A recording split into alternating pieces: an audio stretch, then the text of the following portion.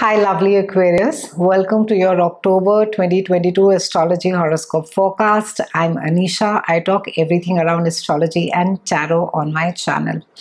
October brings about a phase of eclipses this month and the next, which is in Taurus and Scorpio. We started in 2019 and the eclipses are going to carry on till about 2023. So it can be quite an intense transformational time for you, more so because you're a fixed sign Aquarius and this eclipse is going to be affecting fixed signs specifically. So we have Taurus, Leo, Scorpio, and uh, Aquarius U that is going to get affected. Even though most of us have Taurus in our birth chart or Scorpio in our birth chart somewhere or the other, it would be worth a while to be seeing as to where exactly it's aspecting for us. Taurus also is all about uh, reliability, it's an earth sign, about dependability.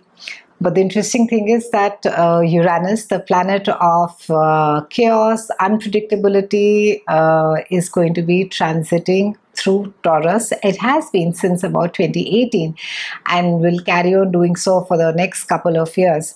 So Uranus is bringing about an entire um, sense of uncertainty with it and uh, he's known as a wild boy of astrology. So, you know, it, things are chaotic, they are unpredictable, you do not know which door is opening, which door is shutting. But the good thing also is because Uranus rules the internet, uh, it speaks about the future, it speaks about technology. So it would be worth your while to be not just investing in technology, but also investing in yourself by upgrading yourself to some technology. Uh, it is also uh, a time because Scorpio is ruled by the planets, warrior planets of Mars and Pluto, to be taking a look at your own psychological patterns, uh, Aquarius. Scorpio is all about going deep under and it's not very happy with just the superficial answers. So you may find yourself looking at um, you know, maybe whether if, if, it's regarding your relationship, whether it's regarding your work, uh, it may just have to do with a very deep-seated psychological uh, pattern or a wiring in you as to why it is that you're responding or reacting to the way that you are. Um, to take a cue we can look back at the eclipse that happened in 2012 to 2014 and that two and a half year phase as to where it is that you were, what was going on with you. Were you in between um, relationships? Was your marriage going through a tough time? Were you in between jobs? Were you struggling for money? Uh, and what were the lessons that you learned during that time? What was it that after that two and a half uh, years that you know you came out thinking that yeah, you know, I could have done this better, or I know this better now, I know how to deal with this, it would be worth your while to remind yourself of your resilience, of your courage, of your wisdom that you used during that time, and that can be applied right now.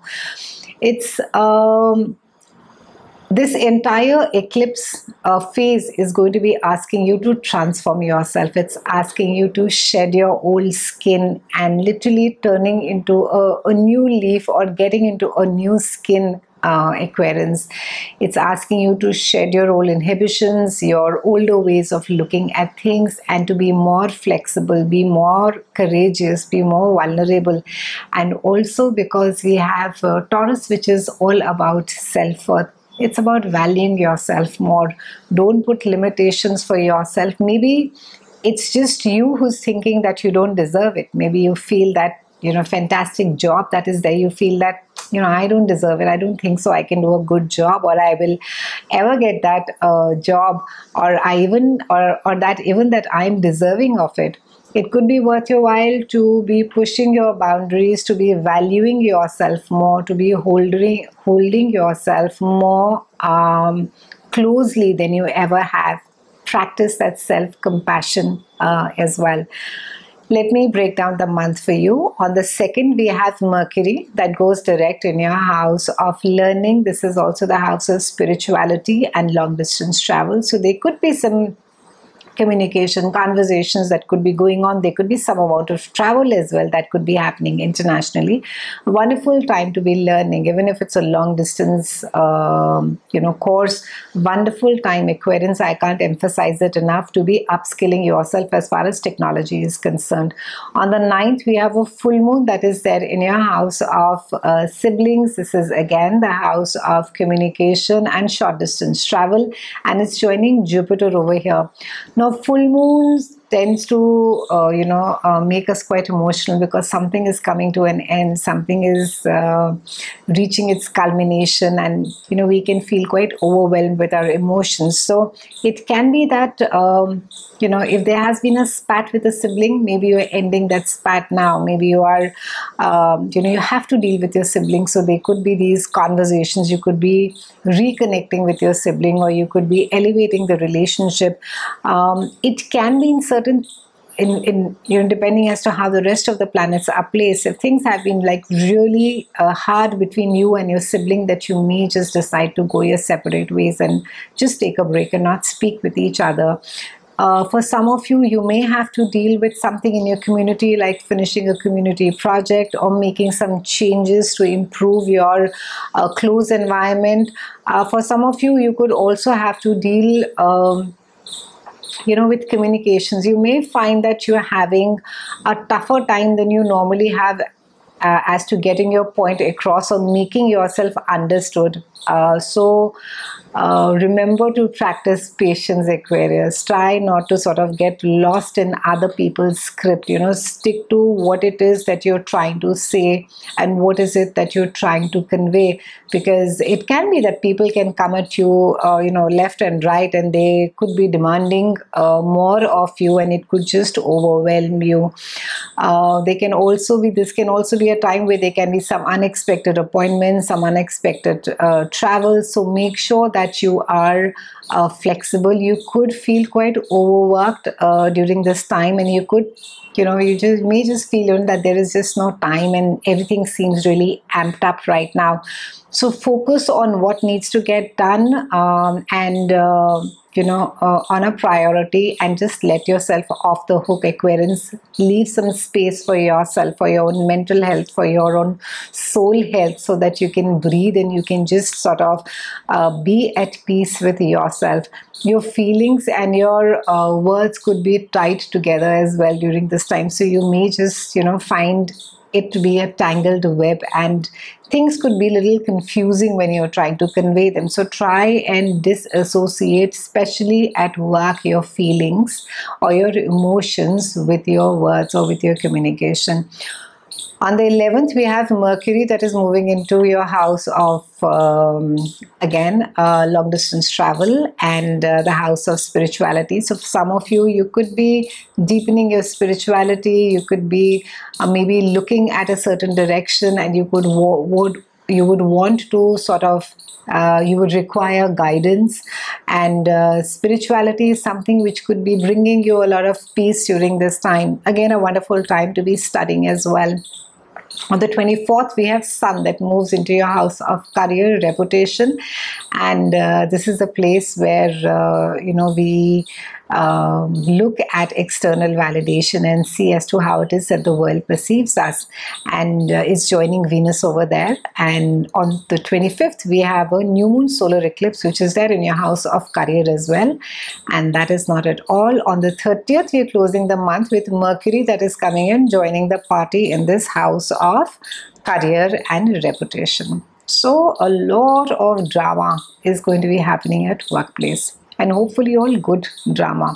So it can be that for a lot of you, maybe suddenly there is something that has come up at your work. Maybe you've been given more uh, work, but there has been no more money maybe it's just like an empty designation that even though there are accolades and people are really appreciating your work, but the money is not as much as that you would like it to be. So there could just be this sense of feeling quite dissatisfied uh, at work it can also be in certain cases that something just comes about really suddenly that you have not been working towards. Maybe a new job opportunity comes about and you take it. And this could be something which is not planned for, you have not been working towards it's, it's just you know out of the blue it comes and it could be a lovely surprise as well um, this house at times also speaks about uh, open enemies so it can be you know that either there's some you know gossip around you or maybe you may find that people are watching you more closely than you know normally they would be. And it could be hard to keep things hidden at this point of time. So again remind yourself of your boundaries at work. You know try not to share your personal uh, stuff that um, you know you could be going through. Uh, leave it for the therapist. Uh, it's uh, an amazing time and i think any time is a good time to be going in for therapy but a wonderful time to be going in for therapy and trying to find your balance and trying to find uh, harmony again. Don't get overwhelmed by um, you know uh, how much you have to do and try and delegate as much as uh, possible. And at times you will find the energy being really intense so try and um, keep stress at bay. You have to find me time uh, during this eclipse. I can't stress it enough.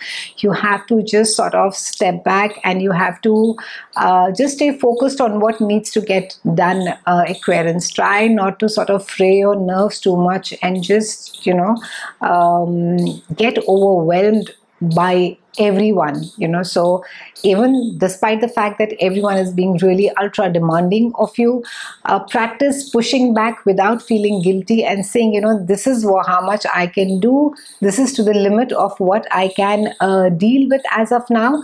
And beyond this uh, you know there, it'll just have to be another time and space. I can't uh, manage more long-term professional goals uh, can be formulated now you know which are more uh, uh, realistic they are more attainable and they'll help you get uh, you further in your job as well. So there can be a lot of conversation around your work around um, you know you could be maybe making uh, presentations maybe there could be some accomplishments maybe you're being called upon and you know given that recognition. But um, i think um, the um, you know it does speak about work advancement but it would be worth your while to uh, you know blow your own horn so to speak. Don't shy away from uh, making people count your accomplishments. And uh, just remember that we are also dealing with a lot of self-worth issues this month aquarians so uh, if there are no cheerleaders around uh, remember to cheer yourself up and be your own cheerleader. Do remember to like subscribe and hit the notification bell. I would love to hear from you. If this content resonated with you do leave a comment below. I'll see you again soon and thank you so much